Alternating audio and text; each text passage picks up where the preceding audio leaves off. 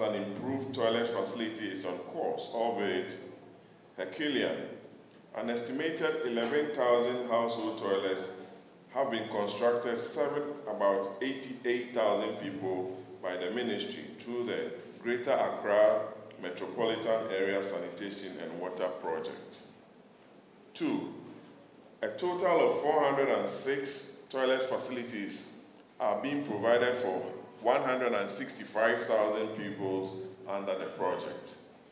In order to centrally connect households to densely populated and low-income urban communities, such as Bankuman in Tema, Lakwana in La, and Ashaiman, the ministry through the project is also developing decentralized sewage systems that will benefit over 15,000 individuals.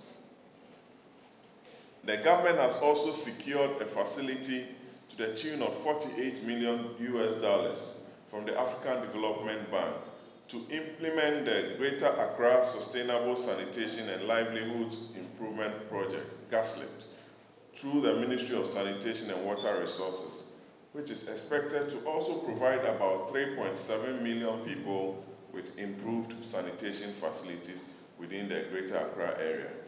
This project, Mr. Coordinator, will be launched officially on the 4th of October this year.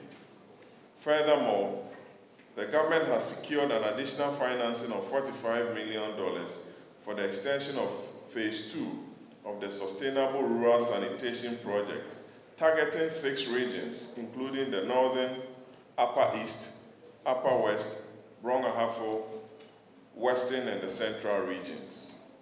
The targets of the extension phase of the project, which is being implemented through the Community Water and Sanitation Agency, are 20,000 household toilet facilities, leading to the attainment of open defecation free status of over 500 communities.